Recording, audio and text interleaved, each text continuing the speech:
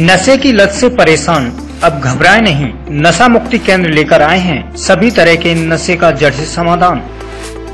अब किसी भी प्रकार का नशा हो, चाहे वो शराब, सिगरेट, बीड़ी, गुटखा तमाकू खैनी आदि, इन सभी तरह के नशे से छुटकारा पाने के लिए हमारे नशा मुक्ति केंद्र से संपर्क करें। सिर्फ़ एक कॉल पर आप अपने नशे से छुटकारा पा सकते हैं। 100 परसेंट मनी बैक गारंटी के साथ। तो जल्द ही संपर्क करें। प्राइम 18 न्यूज़ चैनल अब नेट विजन केबल नेटवर्क पर 707 नंबर पर उपलब्ध।